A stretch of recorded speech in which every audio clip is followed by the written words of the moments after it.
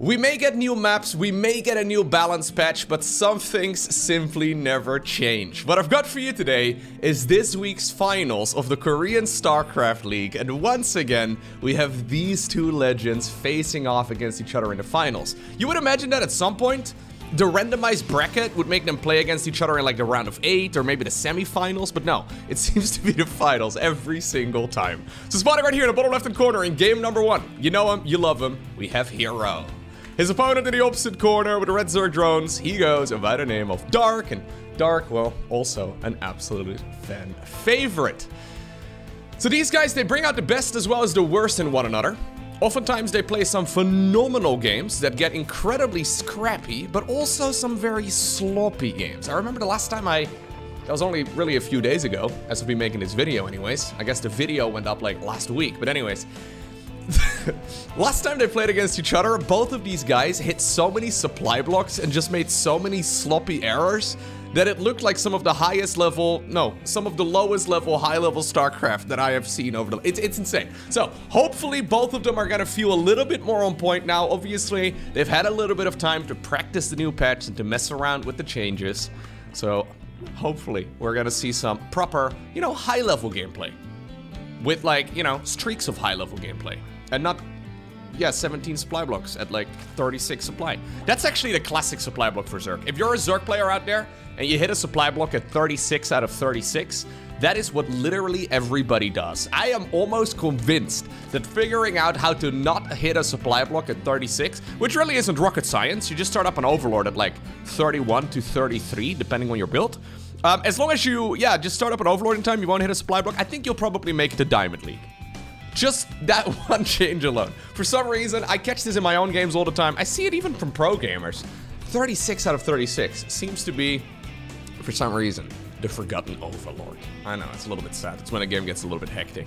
Maybe not so much in this matchup. We see it more often against the Terran pieces when the Reaper starts roaming the map. Anyhow, what exactly are we gonna do, Hero? So obviously Hero is a big fan, ooh, alright, of the Stargate opener. He could have gone for a Stargate here. He had the gas for it.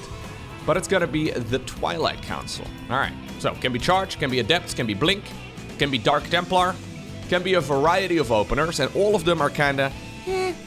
That's how I feel about literally every single Twilight Council opener. They're all kinda, eh. They're kinda cool.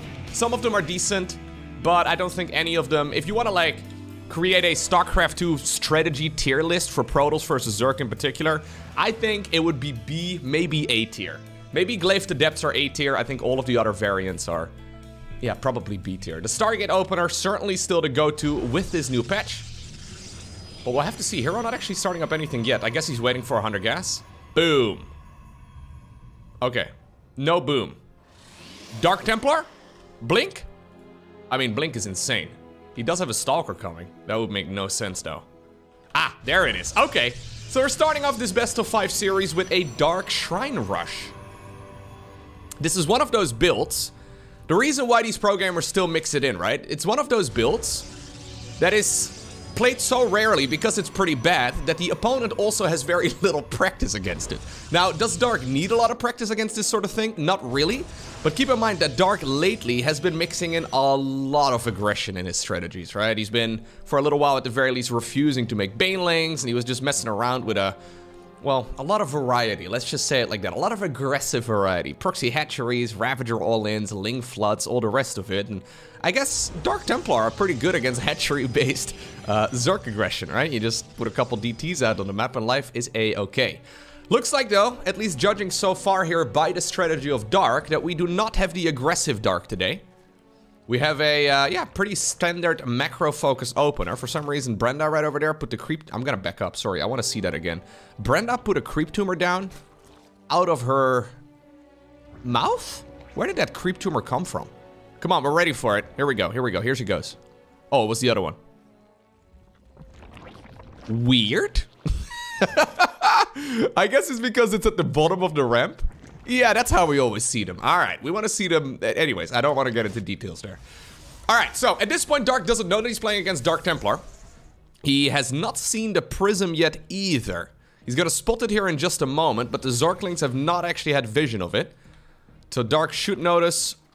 Ooh, no, that's a couple Dark Templar being warped in right there. I don't know if he sees that. Uh, that could actually be a disaster. He's got a Spore Crawler over here, Spore Crawler in the main base, that is to deal with any sort of Oracle shenanigans. They would have already shown up. Alright, well, that's, yeah, probably the queen that did it wrong, right? That must be the queen that did it wrong. We're gonna target the hatchery? Okay. Hero's here for the big bucks now. Yeah, he was waiting until that Spore Crawler would move down to the low ground. They do root very quickly. So Spore Crawlers, I believe, root like twice as fast as Spine Crawlers do. And in the end, I think he probably could have had the hatchery if he decided to really target it, but I guess it would have been a little bit risky. In the end, was this opener worth it? Honestly, it's not been bad. The main advantage here is that you can still follow this up, well, normally at least, with some Archon harassment. So I personally am a fan of this build, even though I do think it's kind of weak. You can follow it up with Archon harassment, but instead what we have is Shadow Stride. One thing to note as well that on the back it is, Dark had very few workers. So he's been very busy preparing whatever he can here to make sure he doesn't take damage, that he's taking damage economically because he's trying to not take damage. You see what I mean? So he didn't really lose a lot of workers there. As a matter of fact, he's lost none. But he's forced to put so much respect on these Dark Templar, these men wearing capes. Do you think I deal more damage as well if I were to wear a cape? Oh my god. Eight DTs. We have Blink. He could he could murder these roaches. There's no way that these roaches are gonna win against... Okay. I thought for a second we would, like, blink behind the roaches and then kill them all. I think it could have. There's no way that, like, seven roaches are gonna... It's not very cost efficient, though. I guess that's not really the point. Anyways, more Dark Templar inside of the main base. And we have started off this best of five series with Hero, who rushed out 10 Dark Templar. Now, so far, he's done absolutely nothing with them. Other than slow down the Zerg's economy a little bit by forcing them to make units, this opener has not really achieved anything. He does have a good economy on the back of it, and he's forced all of these units out of the opponent. He also forced Dark to, well, not really have that much economy here himself, but judging by the fact that Dark is now making about a gajillion overlords, I don't actually think that's a mistake. I think that's the man preparing to just do a roach flood. And that's a big problem with openers like this. How in the world are you gonna just simply stop the most ordinary Zerg timing? Look at the amount of production that we have right now for Hero. This is just a whole lot of Zerg. Yeah, okay, finally they have to be addressed. Battery overcharge is gonna be pretty neat, I suppose, but the numbers don't lie. Okay. It was a cute attempt right here by Mr. Hero. Misrallied Immortal as well. Uh, that battery. Oh my god, the Prism saves it as well. Lovely work. 14 probes have gone down. We have more roaches here working on whatever they can on the other end. Yeah, and what was a really cute start just gets destroyed by a, a sledgehammer attack, right? There's no elegant way to describe this Zerk attack. This is like the caveman style right here from, from Dark. He's like, oh, me have roach, me smash. Right? That's basically what it's come down to. In the meantime, Hero is like, working at the circus, doing all kinds of cool flips and somehow, some way, moving his body around in ways he didn't think was possible. And, and then, yeah, Dark just comes across the map with all of the units he's been forced to produce this entire game long and just punishes him for it. Maybe Hero can still stabilize, though, because this is, of course, an all-in right here by Dark. He needs to do critical amounts of damage if he wants to play a macro game off of this. But I think just killing all of these probes, that's 28 workers down the drain. And then killing the Nexus on the back of this will be okay. I mean, we have some really lovely Immortal juggling, don't get me wrong. And at this point, Hero still has 48 workers. Eh. I don't... Hmm. I want to believe, but I also don't. Becomes a very religious video all of a sudden. I want to believe, but... Uh, I don't know, man. Spire coming up on the back of this. Okay, so this is Dark saying, yo, get out of my game. At this point, Hero has not really got another choice other than make, I guess, Immortals and Sentries to really shut down the Roaches, and he's been doing an excellent job, actually. I thought he would have already lost at this point, if I'm being honest with you, but he's got that phenomenal Prism juggling that kept him alive. The Spire is going to finish up in about, I think Mutas are going to be out in about a minute from now. Dark wants to see what's inside of that main base. Alright, he sees the probe transfer.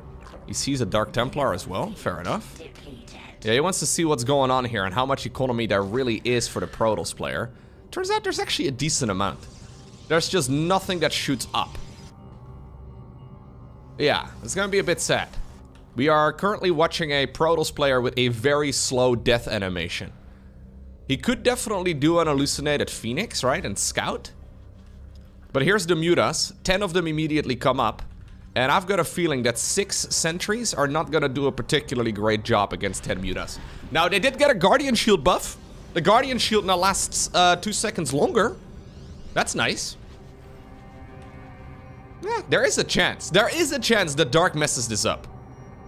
But that's, I think, what the win condition is. I mean, this is a good set of force fields to get started with. There's the Mutas, though. They're gonna go after the Prism first. Sentry's trying to give him the Tickle Death. One of the worst ways to go.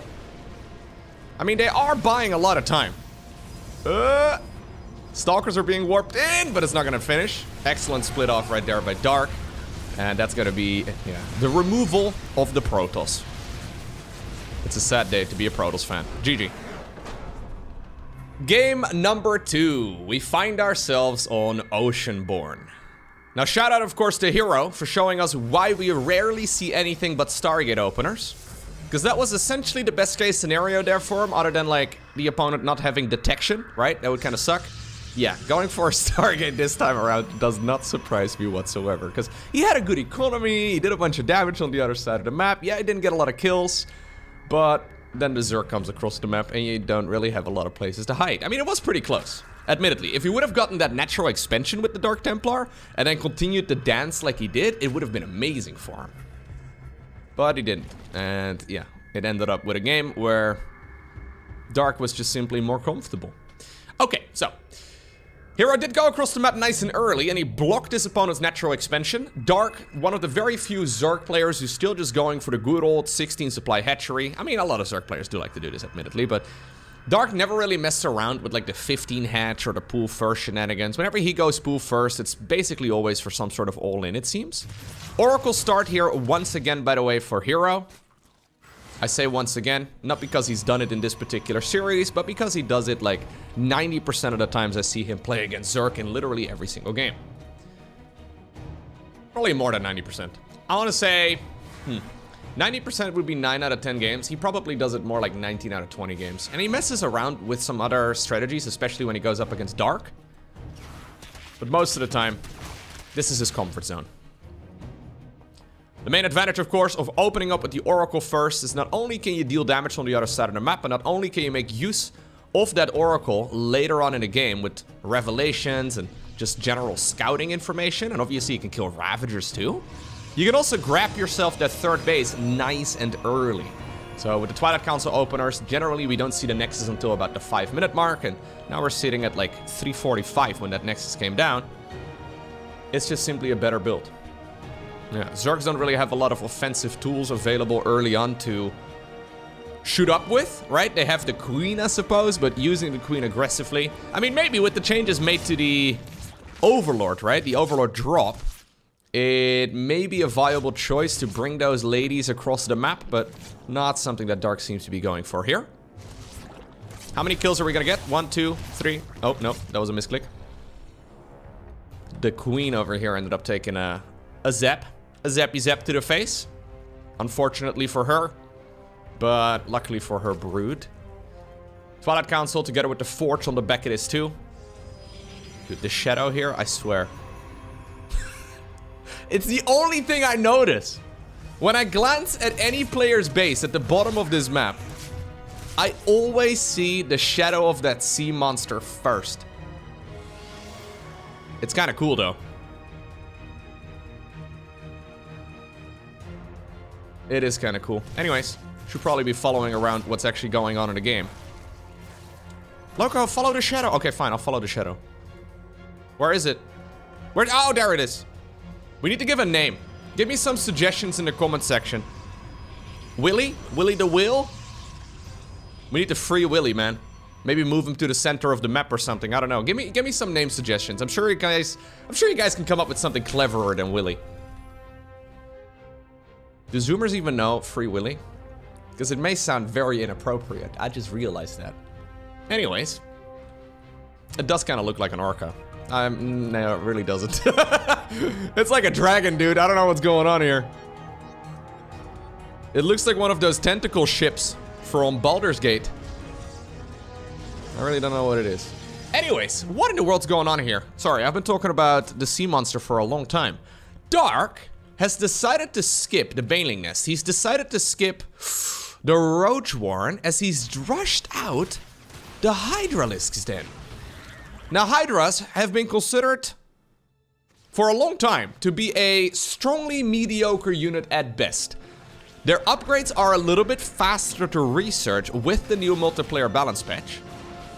And I haven't really seen anybody attempt a Hydra timing. But you know what? This does look like an awful lot of Zerg units. They have their ranged upgrade at this point done. That stasis is going to be critical to deny. Lovely work. Battery overcharge though, obviously a very powerful tool that hero does have energy for. Okay, he's just making more. I think he's just gonna make more Hydras. He's now gone into the speed upgrade for the Hydralisk 2. He's forced out the shield battery overcharge, so he decides to back off. Blink at this point is done. Plus one ground weapons is also finished for the Protoss. I've got a feeling this is not gonna be good for the Zerg. Maybe I'm mistaken though. Normally, this would be the point in the game where Hero is the one on the offensive, right? And he would be doing so against a Zergling with plus one melee type of army, with maybe some Roaches and Ravagers to supplement the damage.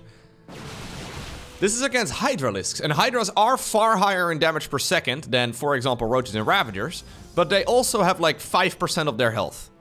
Okay, maybe not 5%, maybe 50% of their health. That, that's a more reasonable number. What I'm saying, though, is since they're not armored and all that, they really do take a beating. But Pure Hydra against pure Gateway unit?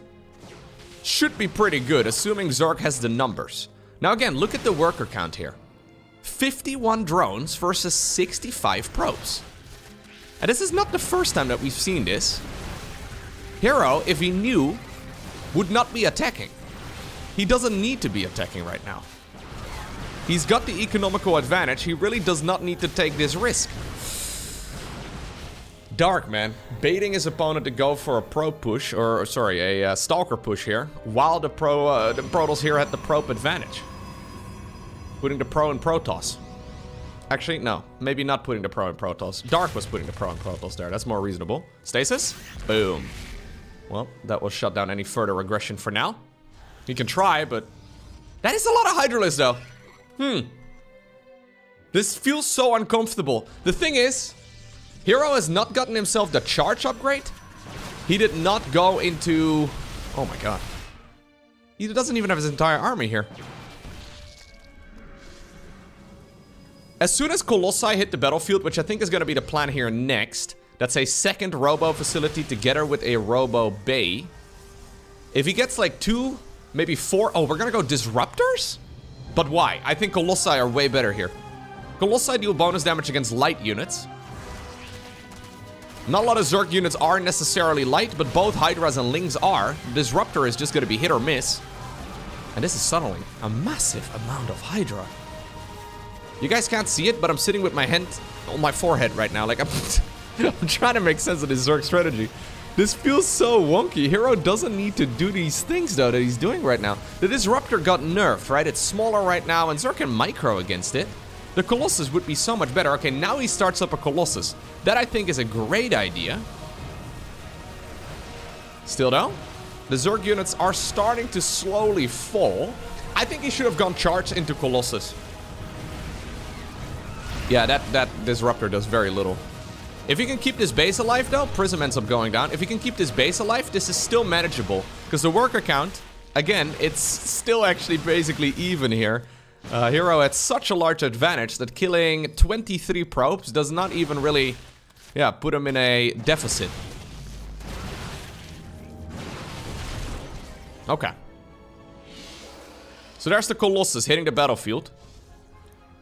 No, don't go for an Immortal. I think he's really scared that this is a trick right here from Dark. That Dark has got like a mass roach transition on the back of it. Because Hero has been scouting on the other side of the map with those oracles, but it just requires one Roach Warren to sit somewhere in a random location, right? And you can't properly, uh, you can't possibly scout the entire Zerg space. I think that's why he's, uh, yeah, the Immortal's not gonna achieve anything here. I mean, it's nice for supplemental damage, I suppose, but it really doesn't do that much against Zerglings and Hydras. Colossi with range would be really sweet. He did end up losing the Robo Bay earlier, so maybe that's why, but he didn't prioritize making the Robo Bay when he started up an Immortal. Hmm. Okay. Dark going plus one melee together with plus one missile. So he's doubling down on this Hydra Zergling army. Why, by the way, did he make the Robo Bay over here? Like, I think the Robo Bay was previously here. What's that spot? Yeah, I don't know. That makes no sense. Why would you why would you put your most expensive tech structure that doesn't need to be at the front at all for any any reason? Why would you put that out there? Anyways, Robo Bay is gonna go down. He had space, right? There's plenty of room over here. He's gonna go into the extended thermal lens. Plus two ground weapons is going to finish up. And this is a difficult situation here for Hero to read, but I think what he needs to do is just sit. Maybe roam the map with a few units if you are so inclined, but you really don't need to be too aggressive here. If you're gonna be aggressive though, definitely bring an Observer. Lurker Den, by the way, on the back of this here by Dark. Maybe that's what Hero was confused for, but like the Lurker transition would be way too early. He really did not need Disruptors against that yet. Okay. Do we have a Hive? We do not. So this is gonna be Lair Tech Lurkers? Guys, if there's one thing you need to know about Lair Tech Lurkers is that they suck. Let's hold up right now. Did that did that Colossus just walk into the Hydralisks? The guys wait for me! Guys! I'm the size of a skyscraper! I'm a big boy, I'll be coming soon! God. That hurts. That's painful, yeah. Immortal gets its barrier triggered. Now that Disruptor here is still forcing at least some of these Zerg units to turn around. Force fields here are now gonna seal that deal. I don't like the Lurker Den here very much. It's decent against Zealot run-bys, but the problem is that without the ranged and the speed upgrade, Lurkers really do not do very well. Like, without their ranged upgrade, they're kinda... kinda mediocre at best. Now, maybe he can make a couple of them and just burrow them in bases against, like, a chargelot run-by, but we don't even have charge here yet. Hero, hero, can we, uh... There we go. Yeah, can we, can we get back to basics? Sometimes in a game of StarCraft 2, you can kind of defeat yourself by being too clever. Or at least thinking you're too clever, when sticking with the basics is usually not a bad idea. These are Lairtech lurkers. I just want to emphasize that we never ever see Lairtech lurkers in StarCraft 2.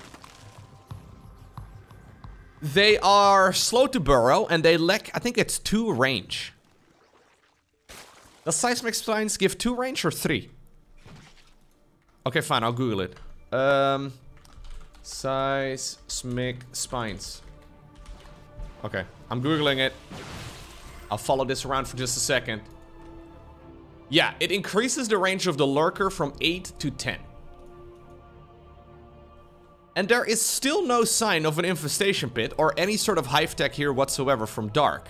So even though I may be a little bit critical of some of Hero's decision making, now look at that mini-map by the way. Two massive armies from the Zerg are crawling across. This is a, a run-by with slow zealots. Love to see it. I'm being critical here of Hero, but I also... Oh my god. yeah, no, this... Okay. Ooh. This is also not my favorite Zerg strategy, I'll be honest with you. I mean, if you can get them in the right place, they can still obviously pack a punch. Colossi are gonna outrange them, though. And even though they're not particularly amazing against Lurkers, they have the range and the lurkers can't hit them, so should be alright. Another robo facility coming up. Fleet beacon in the meantime inside of the main base. Dark's actually just doing a plus two Lair Tech Lurker all in. What in the, I don't, like plus two plus two is gonna finish up right now. It's Hydra Ling Lurker. Dark's, by the way, once again refusing to play Banelings. So maybe he's replacing the Baneling with the Lurker. Look at those Colossi, having a grand old time. uh, no way, no way. You guys counter. You guys counter the Hydra. He was busy looking over here on the right side of the screen. Well, in case you were wondering why we rarely ever see these units coming out before Hive Tech, even though you can make the Lurker Den at Lair, this is the reason as to why. They really are kind of trash before they get their ranged and their speed upgrade. And keep in mind, this is Hero coming from a pretty mediocre situation earlier on as well. You could bring an Observer here. Maybe an Oracle from earlier. Ay, ay, ay, ay, ay. Don't now go losing this game, Hero. Don't go losing this game. I know you wanna try. I don't know the lyrics. I don't think those are the original lyrics either, for what it's worth. Okay. So, we've got Storm. Oh, there it is. Mama's coming up. Mama! Ooh, woo, woo, woo. Did you guys know Freddie Mercury was a weep? Mama, ooh, woo. Okay, no, sorry. Sorry, I found out about this a couple of months ago and I think it's really funny. Yeah, this should be... Oh, I was gonna say this should be a landslide advantage right now for Hero. We're not even gonna see the new Mama ship because Dark's already dead. Alrighty, Heartlet. That previous game was a perfect example of a Dark versus Hero match. In case you have, for some reason, never seen them play against each other, that was an excellent example of a Hero versus Dark game. Where both of these guys are trying really hard to outsmart the opponent, but in the end, you end up outsmarting yourself sometimes. Once again, gonna be a Stargate opener. You guys want to see a magic trick? Watch this. How does he do it? What? Oracle first? Huh? Excellent. Sorry, I'm having a little too much fun. Sometimes I wonder if people will just stop watching my videos if I don't talk about the games anymore. Because sometimes I find myself more and more, over the last couple of months, spending absolutely no time at all talking about the game. I do talk about the game eventually. It's just that when you've seen a lot of early games, and I'm assuming most people watching StarCraft 2 in 2023 have watched quite a few games, right? There's not that many new viewers coming in, so I probably don't have to go over the basics that much.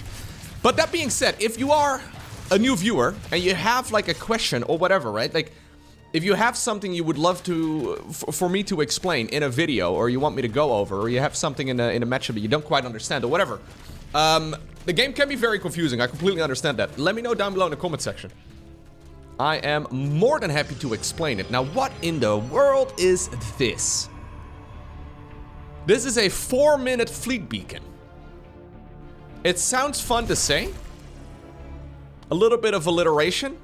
Ah, I guess the, yeah, four minute fleet beacon. It, it sounds kind of fun. Don't lose the Oracle. Good. That's a lot of drones going down as well. Seven workers already. Second Stargate. What are we rushing here, Hero? The Tempest did get an update, so the Tempest is a lot more microable than it used to be. Yes. Okay. What are we having over here, though? Dark is not too keen on playing against this sort of opener here. So what Dark has seen is an Oracle opener without a third base. So he's assuming that something fishy is going on on the other side of the map, and he decided to send his units across. I think this is a mistake here from Dark. Yeah, right now there's not a whole lot, but he can quite literally not touch these units. Assuming Hero micros them, these Tempests should be able to just destroy everything. You don't want to target fire the queens, I would imagine. Obviously, if you can, like, overwhelm this Protoss wall and, like, get your Lings in and to just have the Zerglings destroy everything, it would maybe still be possible. The Tempest will eventually kill everything, but it's gonna take a long time. You know what? This might actually work out. He's just trying to buy time. You really do not want to have your Tempest shooting at Zerglings, though. That's a complete waste. I think that Bile just killed a whole lot of Zerglings, didn't it? Okay. Don't... Oh... Look how much faster though. You see that? They feel so much more nimble than they used to be. They were like big capital ships that were slow and sluggish, and now they're actually pretty responsive when you tell them something to do. This is when the Zerglings are starting to break in though. Oracles are running out of juice. This may actually still work out here for Dark, but keep in mind that this is once more a Dark all-in. And as soon as this is cleaned up, those Tempests are gonna go across the map, and they're gonna go fishing. They're gonna go fishing for whatever they can. Hero decided to rush out the building damage upgrade, which really isn't something you needed to rush out on these Tempests. It hasn't really achieved anything in this particular case so far. But anyhow, Zergling's going around the site. Yeah, you do have to be cautious here, uh, Hero. He's just gonna counterattack apparently with the Tempest, just hitting whatever he can. He's attack moving, so not move commanding. Meaning that this is gonna... Uh, oh my god, no, no, no, no. Don't say you're gonna throw this, Hero. Because this does hurt my feelings a little bit if you're gonna throw this. Okay, yeah.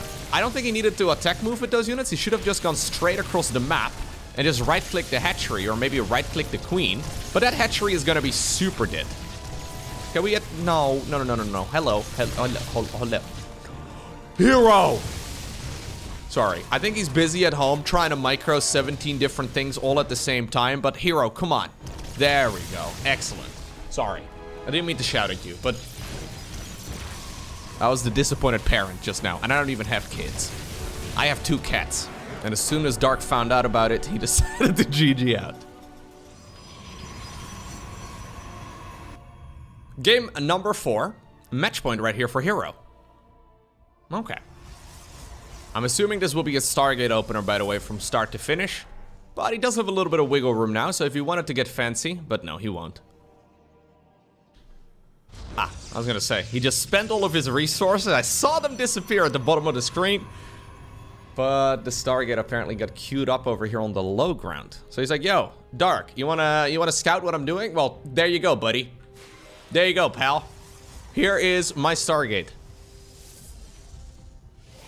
Always nice. Probably doesn't come as much of a surprise here, but Still an interesting choice to just give your opponent all of the intel. There's still always a chance that it could be like a Phoenix first or a Void Ray first.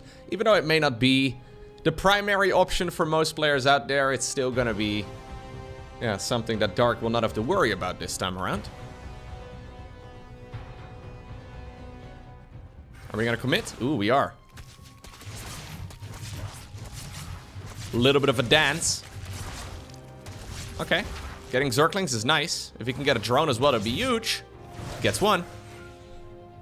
I like what Dark was trying to do there. He was trying to force his drones to stack together so there was a 50 or so percent chance that the Adept would actually misfire and target the wrong drone there. So you would end up with two drones that were half HP. Sometimes you don't have a way to save your units and you gotta just take the best chance you can. Cute little move right there by Dark, but of course a good start here for Hero. Dark now making a ton of lings, going across the map, achieving, well, very little. There is no attempt of a third nexus just yet, and you would imagine that this would be the moment for such a... such a structure. You would imagine that Hero is gonna make his own pyramid soon.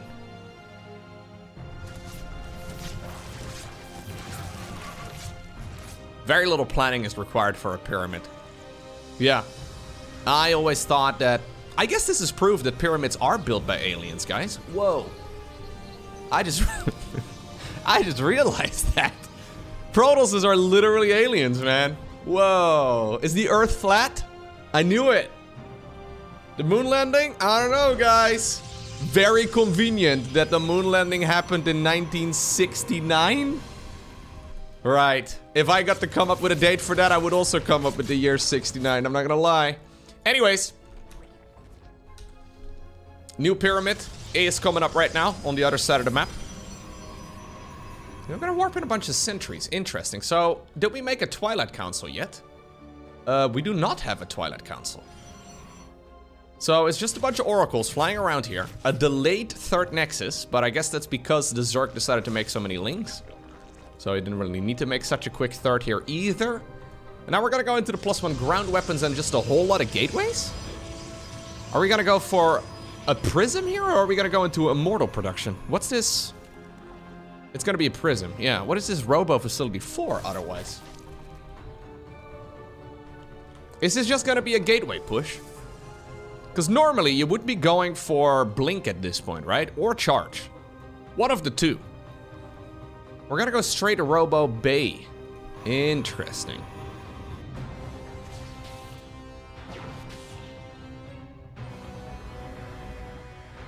Overlord's coming up. Observer. Trying to scout out some creep tumors, apparently. Parking itself right over here on this Zerg intersection. No traffic lights here, so very dangerous place, but that's alright. Okay, now the Twilight Council comes up. This is a bit of a wonky build right here from Hero. It feels to me like he's not planning on attacking for a while, and he just is sort of making the structures he's gonna need eventually as the money comes in.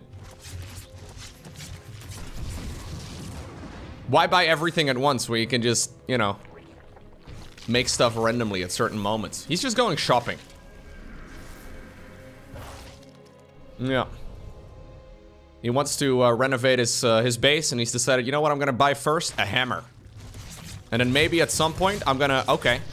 That, what, what was that move? What, like, give me, what was that? We just saw two oracles. Sorry, I don't want to roast him, but we just saw two oracles. Not that I could do a better job either, but we just saw two oracles die for no apparent reason at all.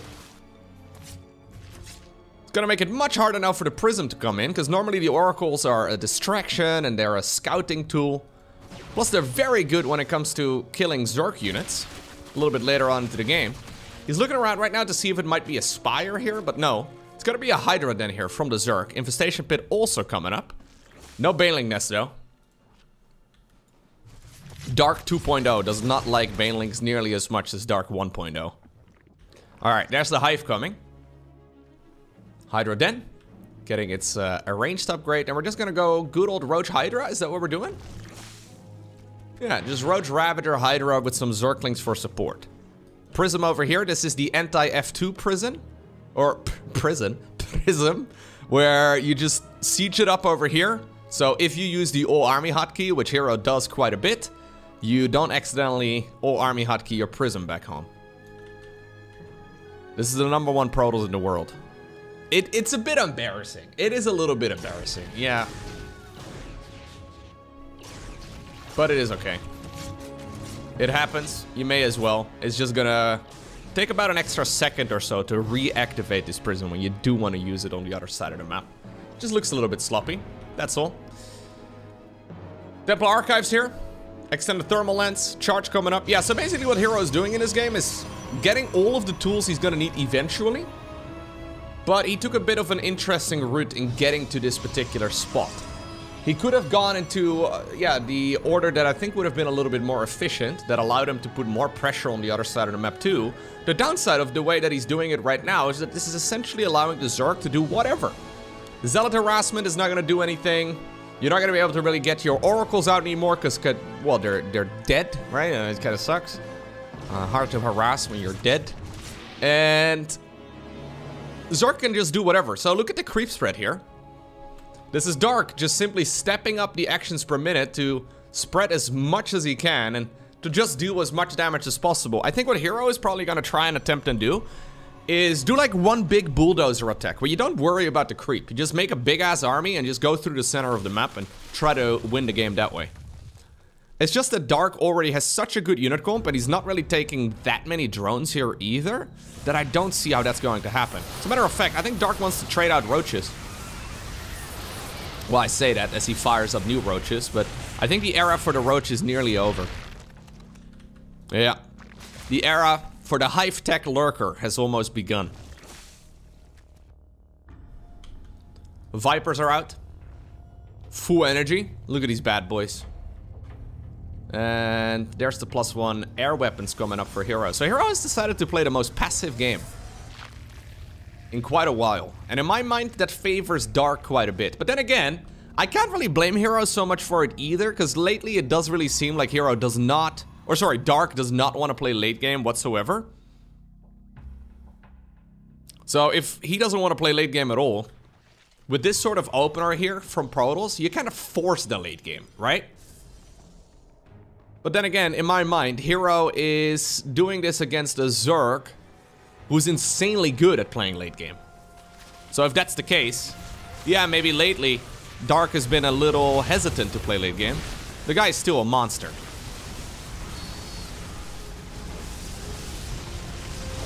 Okay, nice little storm over here.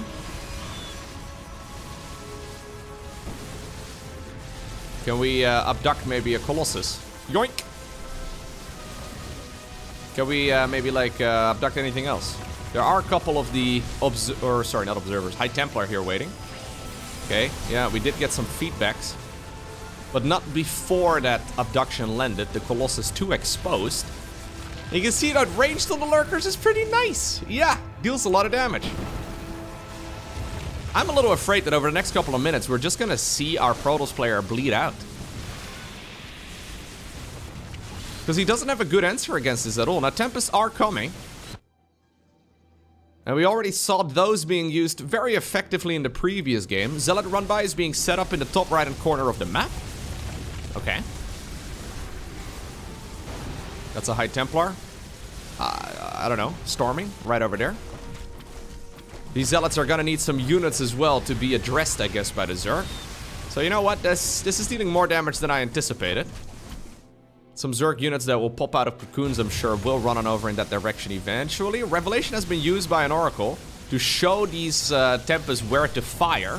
One Hydra over here, absolute legend, scaring off both of those Tempests. But eventually the Nexus did go down. But those Zealots are still dealing damage though. Yeah. Okay. So in the end, I think that small group of Zealots achieved ah, a decent amount of damage on the other side of the map too. If it wasn't for those Colossi getting freely abducted, I think I would have liked this a little bit better for Hero overall, if I'm being honest with you. So already there was a Spire built to try and go into some Corruptor play. And those Corruptors are going to be phenomenal when it comes to fighting Tempest. At least in theory. This is the new Tempest. There's a lot of Storm energy available too. So maybe the Corruptors can't really achieve that much. But at least that's what Hero is going up against right now. Dark trying his best to be as obnoxious as possible with those units of his. Looks like that lurker over here is now serving as tree fertilizer. A little sad. Plus two air weapons coming up already. Massive improvement in, in particular on those carriers, which I'm assuming we're going to see eventually. That's a lot of zealots going down for free. Okay, how good is this Tempest High Templar army going to be against this Viper Lurker Corruptor force? Obviously, there's a lot more other units in the mix too, but those are really the only units that matter. But Oracle throwing down the Revelation, yeah, really nice. We once again had a bit of counter-attack damage as well on the other side of the map. Maybe that's just scaring Dark a little bit. Dark going into as many upgrades as possible.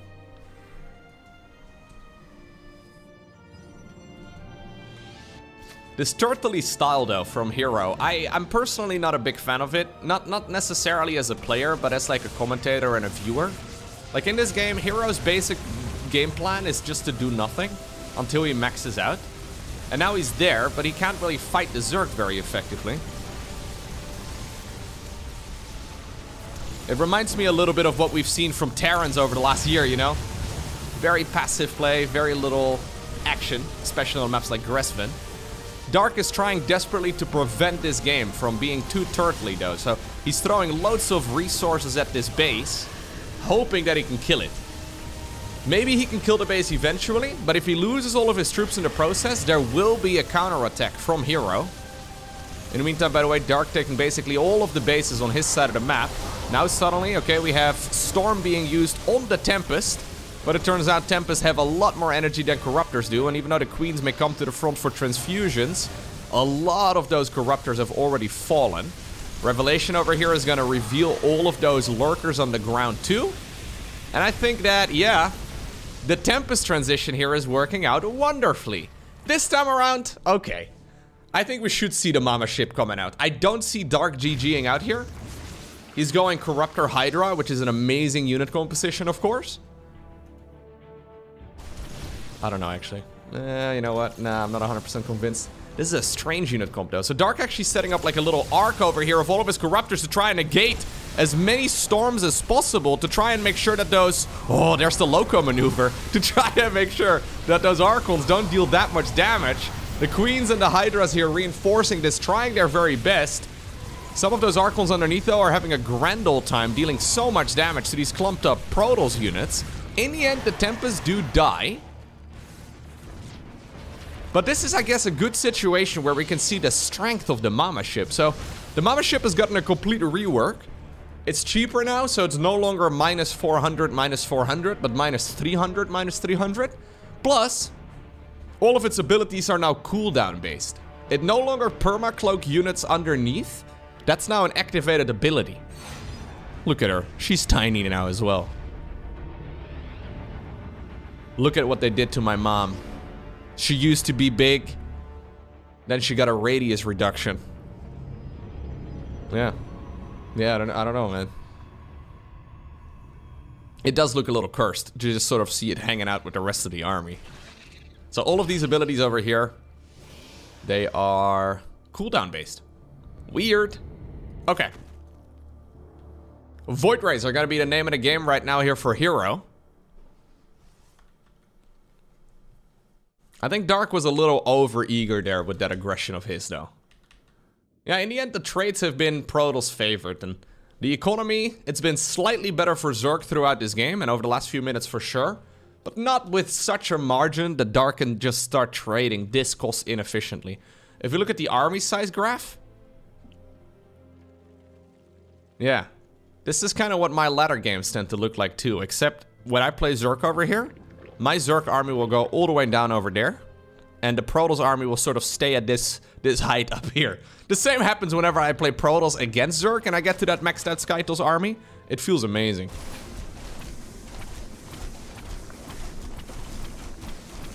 The strongest Zerg late game composition is Spellcaster focused, so you really want to be going both Vipers as well as Infestors, and that seems to be what Dark is doing right now.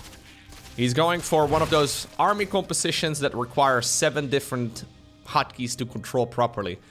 I'm only slightly exaggerating, but most of them do require a minimum of four, which is very tricky. Um, yeah, not, not easily done. I think Hero probably has got his units on two control groups, because that's what he usually does. I think the Prism probably has one separate button. Okay, now the Mama ship definitely does need to cast its spells individually from the High Templar. So we'll have to see how this ends up going down here. Vipers ready once again to abduct these units.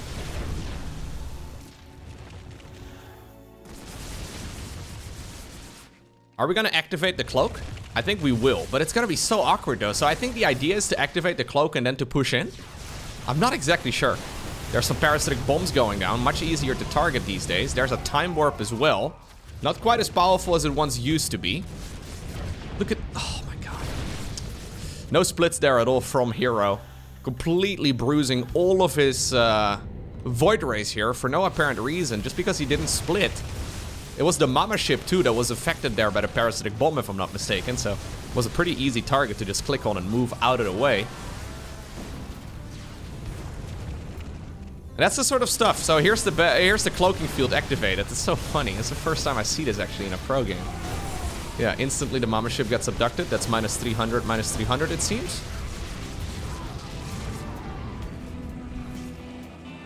I'm not sure what the use is of using the cloaking field. Like, at what point do you use the cloaking field? Do you use it to retreat? Probably not. Do you use it to engage? Probably not either. So you just don't? You just don't use it? You just use it sometimes? I mean, it's a cooldown, so you may as well. You're not wasting your energy on it, but... Hmm. Funny, funny little ability. It really only makes sense as a passive now that I think about it a little bit more. Massive Parasitic Bomb Fungal Growth combo over here. Are we gonna see a split from Hero? Yeah, well, we see one after all of the units have already mostly died. Obviously, I understand with fungal growth it's hard to do it, but there wasn't even an attempt. Okay, Hero gets shut down here in the late game. Yeah, I, I feel like Dark is significantly better in the late game. And that's not to say that Hero is bad.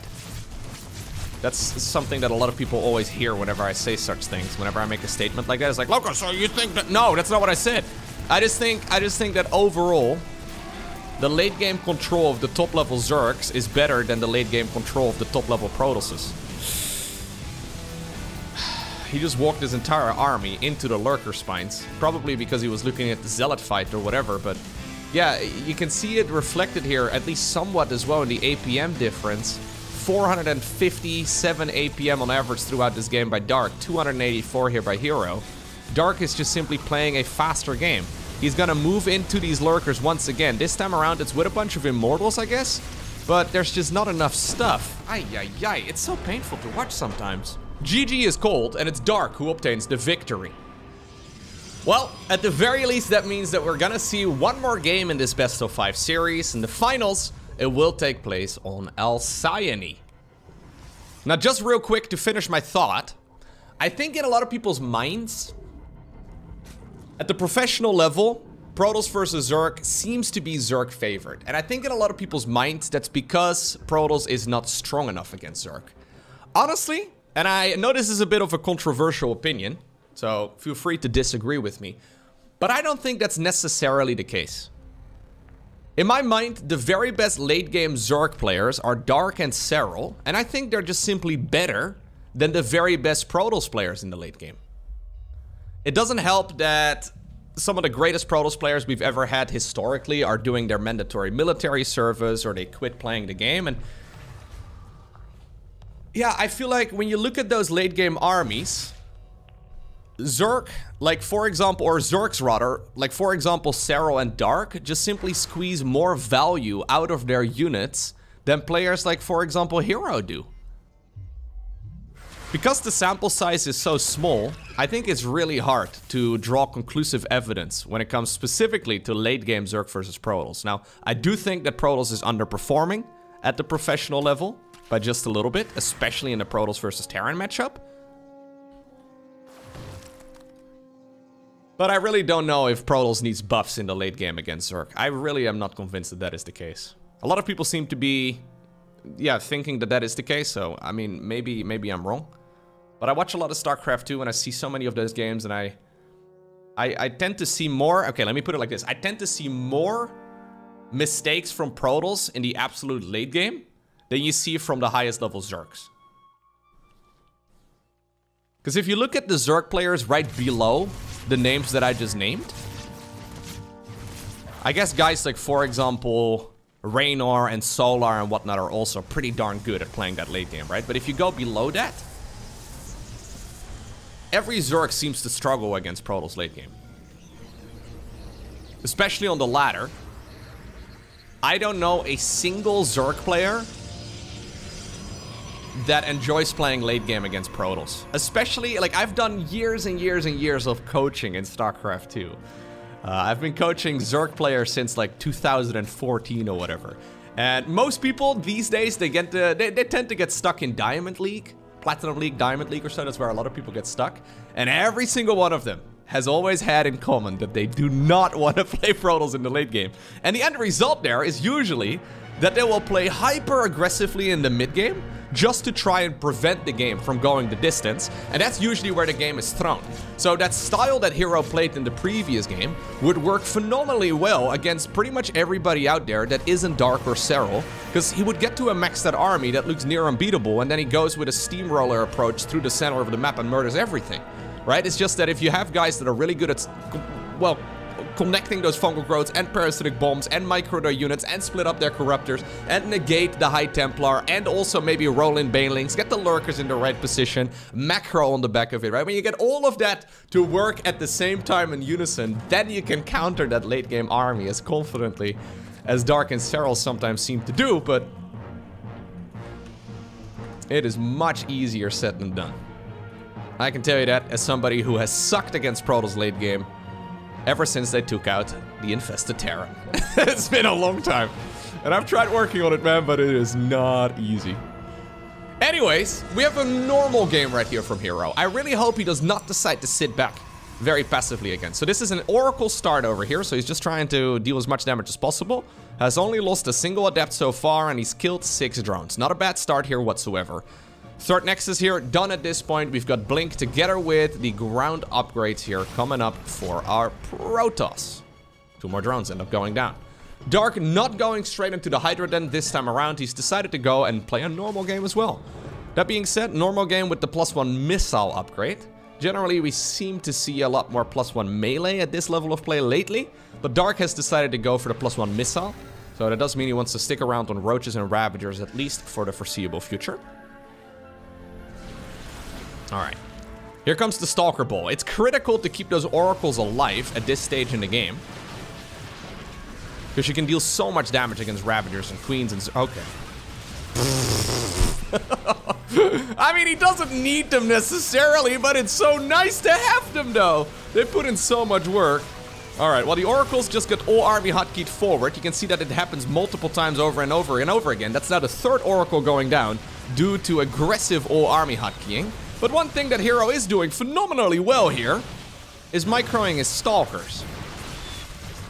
And maybe those Oracles are just collateral damage. Yeah, drones are now forced to pull from their hatcheries. I think this phenomenal control right here on the Stalkers may actually just win him the game. Oh my god. Alright, well in the end, it's Hero who obtains the victory over Dark 322. And this is usually one of the reasons why we see plus one melee being researched rather than the plus one missile upgrade. Zerglings just make it so much harder for Protoss to stand there and just blink their stalkers back like Hero is doing phenomenally well right here at the end. Anyways, if you enjoyed this video, please take the one second that it takes to hit the like button down below. I know it's annoying that I ask, but it really does help. And if you really enjoyed it, hit that subscribe button so you get notified as soon as future videos go live.